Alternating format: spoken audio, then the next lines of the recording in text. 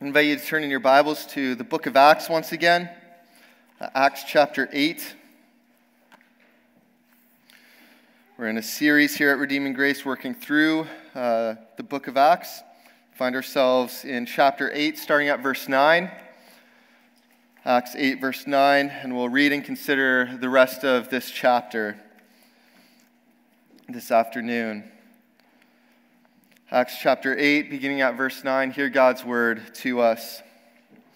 But there was a man named Simon who had previously practiced magic in the city and amazed the people of Samaria, saying that he himself was somebody great. They all paid attention to him, from the least to the greatest, saying, This man is the power of God that is called great. And they paid attention to him because for a long time he had amazed them with his magic. But when they believed Philip as he preached good news about the kingdom of God and the name of Jesus Christ, they were baptized, both men and women. Even Simon himself believed, and after being baptized, he continued with Philip. And seeing signs and great miracles performed, he was amazed. Now, when the apostles at Jerusalem heard that Samaria had received the word of God, they sent to them Peter and John who came down and prayed for them that they might receive the Holy Spirit. For he had not yet fallen on any of them, but they had only been baptized in the name of the Lord Jesus. Then they laid their hands on them, and they received the Holy Spirit. Now, when Simon saw that the Spirit was given through the laying on of the apostles' hands, he offered them money, saying, Give me this power also, so that anyone on whom I lay my hands may receive the Holy Spirit. But Peter said to him, May your silver perish with you, because you thought you could obtain the gift of God with money. You have neither part nor lot in this matter, for your heart is not right before God. Repent, therefore, of this wickedness of yours, and pray to the Lord that, if possible, the intent of your heart may be forgiven you. For I see that you are in the gall of bitterness and in the bond of iniquity. And Simon answered, Pray for me to the Lord, that nothing of what you have said may come upon me. Now, when they had testified and spoken the word of the Lord, they returned to Jerusalem, preaching the gospel to many villages of the Samaritans. Now, an angel of the Lord said to Philip, Rise and go towards the south to the road that goes down from Jerusalem to Gaza. This is a desert place. And he rose and went. And there was an Ethiopian, a eunuch, a court official of Candace, queen of the Ethiopians, who was in charge of all her treasure. He had come to Jerusalem to worship and was returning seated in his chariot, and he was reading the prophet Isaiah. And the Spirit said to Philip, Go over and join this chariot. So Philip ran to him and heard him reading Isaiah the prophet and asked, Do you understand what you are reading? And he said, How can I, unless someone guides me? And he invited Philip to come up and sit with him. Now, the passage of the scripture that he was reading was this Like a sheep, he was led to the slaughter, and like a lamb before its shearers is silent, so he opens not his mouth. In his humiliation, justice was denied him. Who can describe his generation? For his life is taken away from the earth. And the eunuch said to Philip, About whom, I ask you, does the prophet say this? About himself or about someone else? Then Philip opened his mouth, and beginning with this scripture, he told him the good news about Jesus. And as they were going along the road, they came to some water. And the eunuch said, See, here is water. What prevents me from being baptized? And he commanded the chariot to stop, and they both went down into the water, Philip and the Ethiopian, er, Philip and the eunuch, and they baptized him. And when they came up out of the water, the Spirit of the Lord carried Philip away, and the eunuch saw him no more, and went on his way rejoicing. But Philip found himself at Azotus. And as he passed through, he preached the gospel to all the towns until he came to Caesarea. This is the word of the Lord.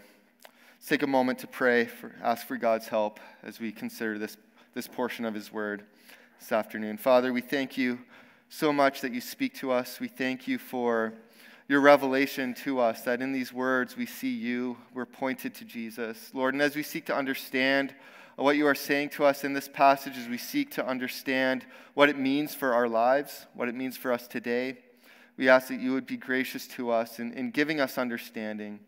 Lord, that your Holy Spirit that was poured out on the Samaritans would be working in our hearts, drawing us to you, pointing us to, to what we need to hear, and shaping our hearts uh, through your word. We ask for your grace in this. That you be near to each and every one of us.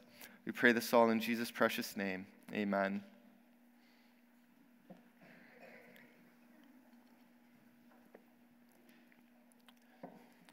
Well, in the few hours, one of the biggest sporting events in North America is about to take place. Anyone want to take a stab at what that is? You can just shout it out. the Super Bowl the Super Bowl. In a few hours, the Kansas City Chiefs and the San Francisco 49ers are going to go head to head uh, for the NFL uh, championship. And it's, an event that uh, draws a lot of anticipation, it, it, it draws a lot of viewers. But not everyone watching the game tonight will be watching for football. Some people will be tuning in simply to see uh, the investment that many companies make in producing humorous or, or out of the ordinary television ads. Others will be tuning in simply to watch the performance at the halftime show. No doubt others will simply be watching because Taylor Swift will be present, watching Travis Kelce uh, try to win another Super Bowl. There's something important we need to get straight right from the start. None of those are reasons for watching football. the reason for watching football is, is, is the competition, it, it's the game, it's the big plays that you see, the big hits that take place. All these other things just, just are distractions. They, they, they draw attention away from what's actually going on, from, from the game. Something of this is going on in the passage that we read.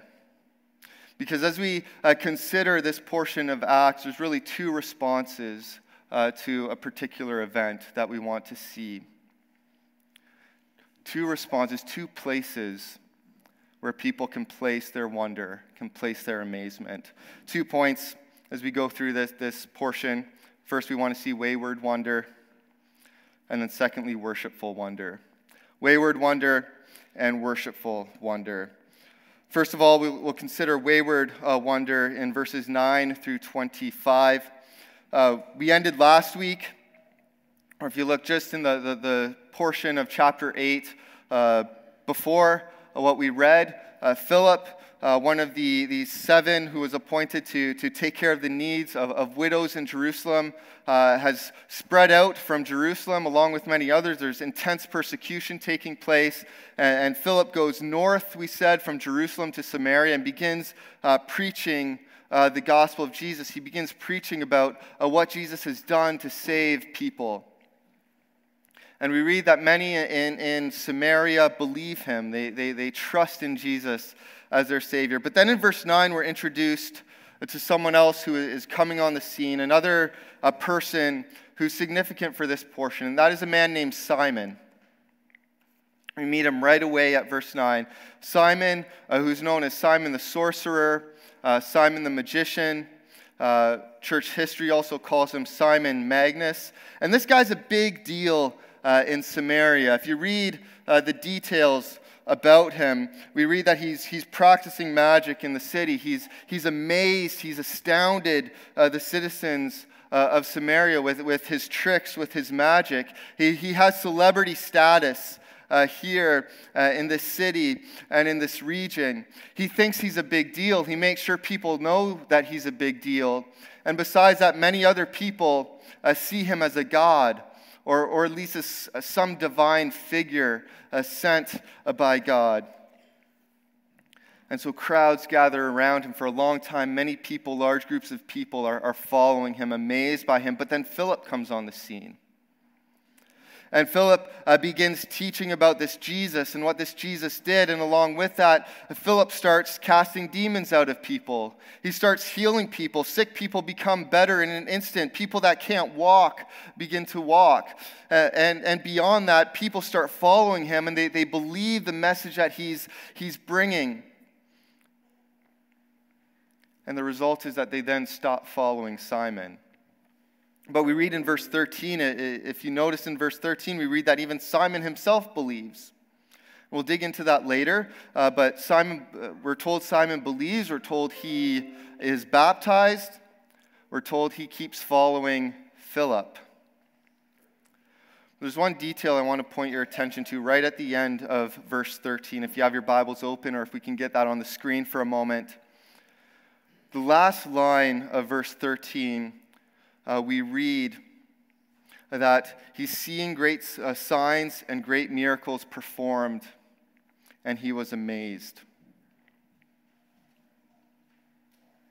What interests Simon, what draws his attention, is the miracles that are being performed.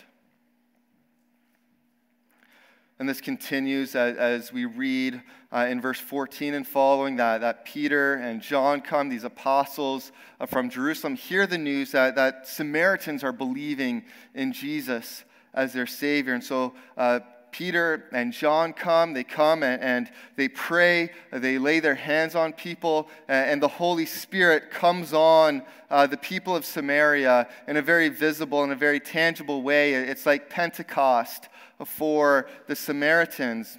And this once again catches Simon's attention and, and draws his interest, draws his amaze, amazement. And so he comes to Peter and he offers him money in order to be able to, to send the Holy Spirit on whomever he wants. So, what do we make of Simon? How do we understand uh, the, this, this character that shows up uh, in Luke's account of what's going on in Samaria? Well, one, we have to, to, to realize what Luke is doing as, as he writes. Luke, the human author, is, seems to be drawing our attention to the fact that it's, it's not the gospel that Simon's drawn to. It, it's signs, it's wonders, it, it's miracles. He's, he's awed and, and fixated on the wonderful things that Philip is doing rather than the wonderful Jesus that Philip is preaching about. And so, what does it mean that he believed? Is this true repentance? Is this true faith? Is this true brokenness before God because of his sinful condition and crying out to God uh, for help and for deliverance? It seems unlikely, given the emphasis. As he follows Philip, He's paying attention to what Philip's doing. He's paying attention to the miracles, to the signs. Perhaps given his, his career, given his, his profession, he, he's watching. He realizes that Philip has access to some amazing power that he doesn't know about. Uh, and, and Simon wants to tap into that. He wants to learn a trick or two that he can from Philip. Even more so, it seems that he's treating this as a business opportunity. Commentators note that magicians at this time would, would, often buy and sell information from each other. They would offer money in order to, to, to gain a new trick, be able to add a new magic trick to their repertoire. And that's what it seems Simon is doing here. He offers Peter money to be able to lay his hands on people uh, and, and give them the Holy Spirit. He's seeing it as a business investment. He wants to add another side to, to his business. In summary, Simon's not trusting in Jesus. Instead, he's interested in what Jesus can give him. He's not so much interested in the message of the gospel. He's interested in the signs and wonders that are going along with that. To use our opening illustration, he's interested in the halftime show. He's not interested in the football game itself. I think there's so many ways that this challenges us. Uh, whoever you are, it challenges us if you've grown up into church. Eh, grown up in church, it challenges us as a culture because at various times uh, in our, our walk with Jesus, we can approach our faith, we can uh, approach the Bible, we can approach the message of the gospel even uh, with this attitude of, of what it does for us. And think of it uh, in this way. Per, perhaps you've experienced this where you're going through a difficult time, you're going through a trial, and you think, I go to church, I put my money in the offering, I volunteer in many programs in the church. God, why are you doing this to me? Why is this, this happening? In some way, if that's our heart response, we're, we're in it, we're, we're, showing that we're in this for what God can give us. We want this peaceful, we want the, this easy life. And when we don't get that, we're angry and we're upset at God. We're in it for what God can give us. Or if you've been uh, a part of a church or, or coming to church, maybe uh, you come with an attitude. It's easy to come with an attitude of what the church can do for me. What can the church uh, give me? Ultimately, we want the help and support of the church without serving, without giving in various ways. We're in it for a handout of some sort. We're in it for what Jesus can give us. We're not in it for Jesus himself or we can be, be drawn away by, by wrong emphases. We can uh, look at what other churches are doing, churches that seem to be successful and drawing all kinds of people, and we look at their ministry models, we look at what they're doing, and we think we need to copy that and, and, and place it in our church, and then we'll be successful. Rather than trusting the, the ordinary and beautiful means that God gives us through His Word, through prayer, through fellowship to work, the, the ways that He works in the hearts and lives of people. Maybe we're seeking quick fixes uh, for people that we're walking alongside of, or, or in evangelism as we seek to share the gospel. We want a, a, quicker solution than the relational coming alongside, being patient with people.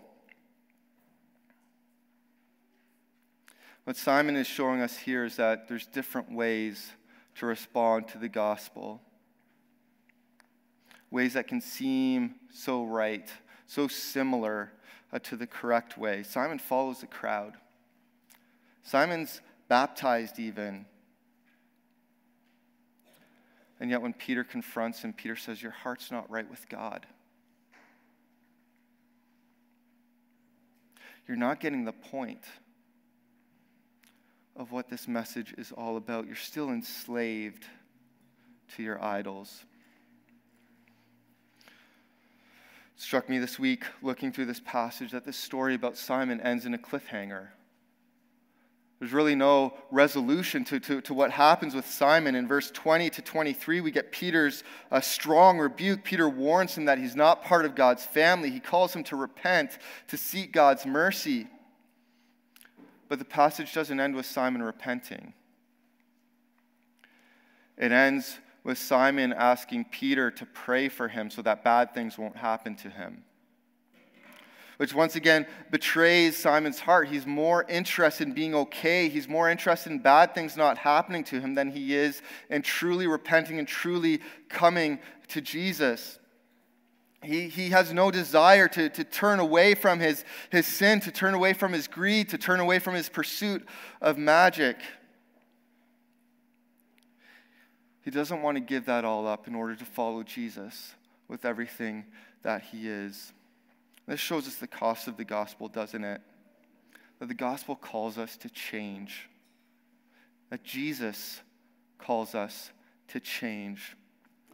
You see, the gospel isn't about uh, a few modifications to our behavior and then we're okay. it's not about, it's not calling us to add a few good deeds to, to the repertoire of how we live our lives and, and then we're good with God. It's not about picking and choosing the things we like about Jesus or the things we like in the Bible, blending it up all together, and then we're, we're good to go. No, the gospel, Jesus himself calls us to wholesale change. He calls us to complete transformation. The gospel requires radical repentance, recognizing just how sinful we are, just how, how broken we are before God, just how deeply the, the effects of the fall run in our lives. And it calls us to get on our knees, whoever we are, daily, and acknowledge that. acknowledge our need before God, acknowledge our weakness, and to trust in Jesus alone for help, to trust in Jesus alone for salvation, that forgiveness, that a right standing with God only comes through Jesus. Anything else will crush us. This wayward wonder can't deliver on what it might promise. The miracles that Simon is looking for, that he'd so desperately wanted, would not have been able to satisfy him. And they won't satisfy us. It's really a tragic story. We don't read of Simon repenting. And early church history attributed uh, to Simon the rise of, of various heretical uh, groups, groups that didn't focus on Jesus but twisted the word of God in various ways. But we're here. We're reading this story. And what I want each of us to see this afternoon is that this cliffhanger ending invites us into the story. It invites us into the story to, to truly repent, to do what Simon should have to ask God to search our hearts, to lay before us uh, things that are not right in us, so that we might truly repent, that we might truly turn to Jesus and seek with all our hearts to, to follow Jesus Himself to have our wonders aligned rightly. And that's what we see in the second portion of the passage that we read uh, in verses 26 to the end. We see what worshipful wonder is, our second point worshipful wonder. Couple things to notice about just this section as a whole, and then how these, these two uh, portions that we read this evening relate. This is a section dealing with Philip. Uh, he's the main human character, so to speak, that runs throughout uh, chapter 8.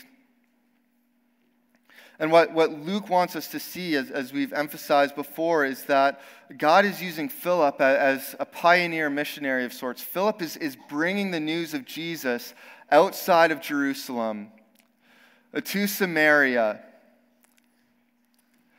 and then to a man who will meet in a moment this Ethiopian.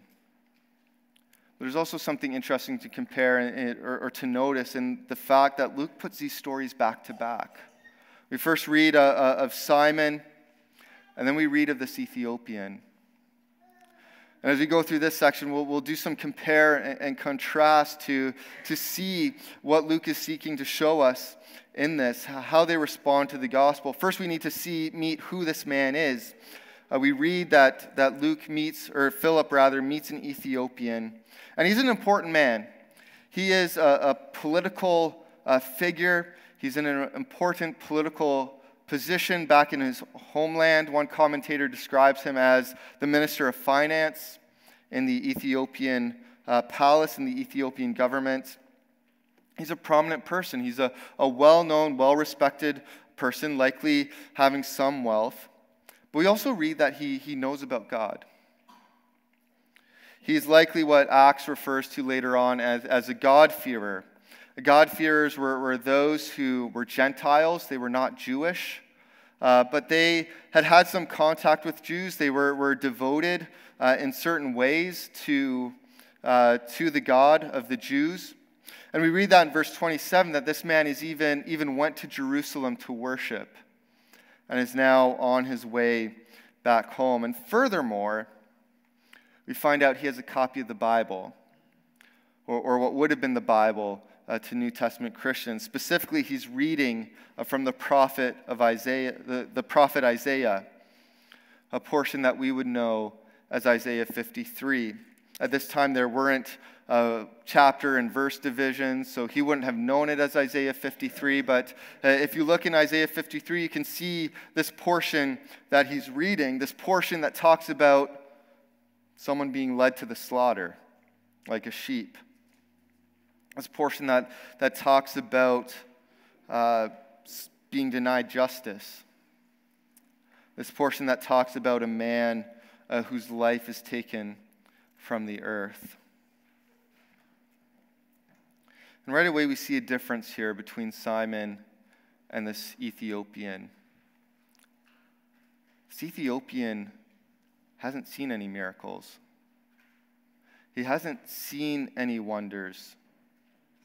He's simply reading the Word of God. He's reading God's inspired, God's breathed out word, and he's seeking to understand what it says. Already, we see that this is a man who is truly seeking God, uh, who's, who's, who's humbled, who knows there's something that he needs, there, there's something that he needs to know and understand, and he needs help understanding it. It's such a contrast between the pride and the self centeredness of Simon who was in it for what he could get, who was looking for, for a new product, who was all about amazing signs and miracles. This man just has the Word of God. He just has his Bible, we would say and he's searching the Bible. He's seeking to know. He's seeking to understand. There's an interesting comparison here with, with Jesus' ministry as we consider uh, Philip's ministry to uh, the Samaritans and, and, then to this Ethiopian.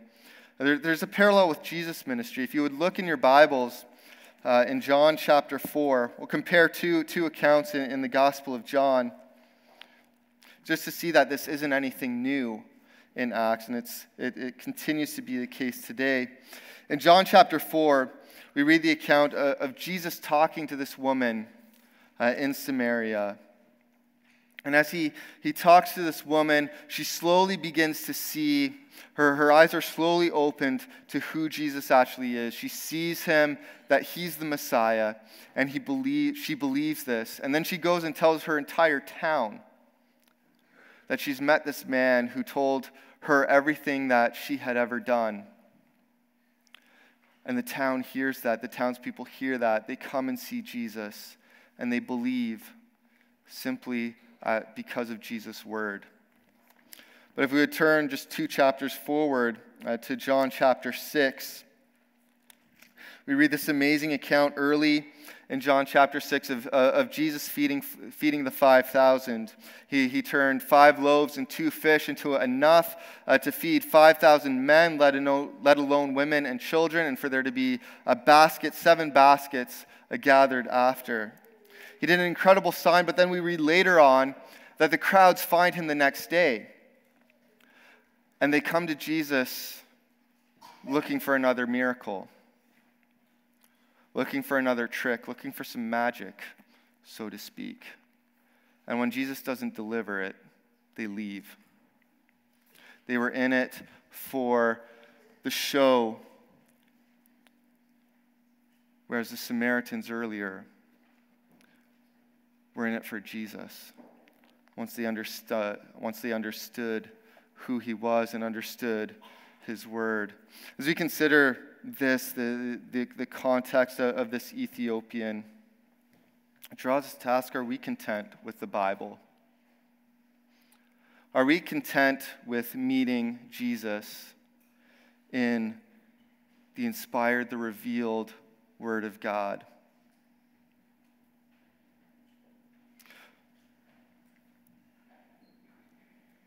Are we seeing it as that?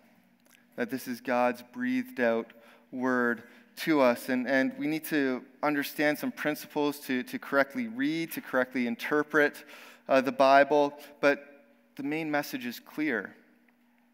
The main message that Philip's about to unpack for the Samaritan the Bible is the account of, of God saving his people. That's the overarching framework. Uh, it's about a God who, who delights to save his people, who to, to defeat sin and evil, to bring people back to him, to redeem a world that is fallen and broken. That's what the Bible is. Do we treasure it? Do you read? Do you study your Bible? Do you seek, seek to know deeply what God is saying to us in it? We're in an age where we have such access to the Bible on so many platforms and so many resources to understand what God's saying to us in it. It's really God's goodness and His hand in our lives. Do we value that? Do we treasure that the way that we should? We sang ancient words earlier. And it's the last verse that always strikes me that, that it's the pages of the Bible are stained with the blood of the martyrs. People gave their lives so that we could hold the Bible in our hands. Do we treasure it? Do, do we long to meet Jesus as we read the pages of the Bible. We see God's hand all over the account of this, this Ethiopian, Philip and this Ethiopian as well. Because at some point, this man met Jews who, who told them about told him about their God. At some point, he longed to go to Jerusalem and eventually made the trek uh, to the temple to worship their God. And somehow he managed to get a scroll with the prophet, prophecy of Isaiah. And at just the, right, just the time that, that the Spirit of God leads Philip uh, to this man, he's reading a, a portion of the Old Testament that very clearly, as, Peter, as Philip's going to point out, leads him to Jesus. So Philip comes, he asks him if he understands what he's reading. And he says he doesn't. He needs someone uh, to teach him. That's exactly what Philip does. It's so interesting to read how Luke records this that he began with the portion of Scripture that this, this man was reading. And from that, he told him the good news about what Jesus had done. And this Holy Spirit continues to work in this man, in the heart of this Ethiopian, so that he truly believes. He's, he's, the Spirit's working through all the details of this passage. And so we see the beauty again of one of the overarching themes of, of Acts that, that God Himself, the triune God, Father, Son, and Holy Spirit, are advancing God's mission. God continues to work faith in those who we would not expect Him to. As we consider this, as we consider this, this Ethiopian, he holds out an example of, of correct priorities, of, of worshipful wonder.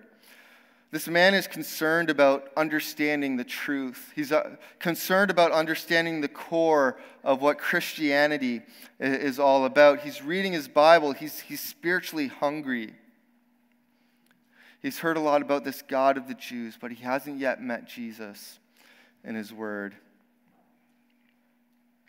And God works in this man in an incredible way to meet that need, to meet that desire, so that Philip comes and he teaches him the gospel of Jesus. He teaches him the good news that, that, that it was Jesus who was the one led to the slaughter, that it was Jesus who was denied justice, that it was Jesus uh, who was killed, also that we can be saved.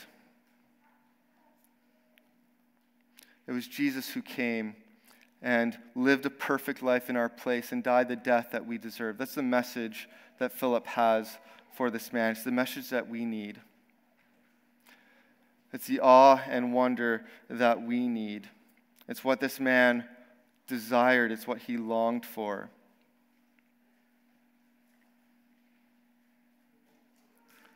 He longed for Jesus. There's a great story from England in the 1800s. There was a man named Herbert Spencer.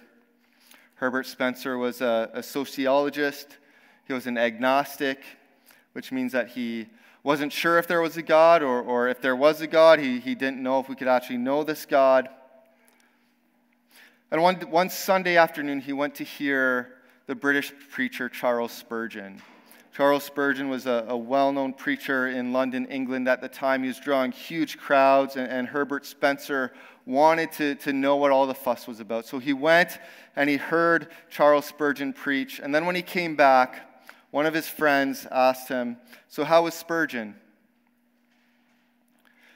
And Herbert Spencer replied, Oh, Spurgeon? I haven't been thinking about him. I've been occupied thinking about Spurgeon's Jesus.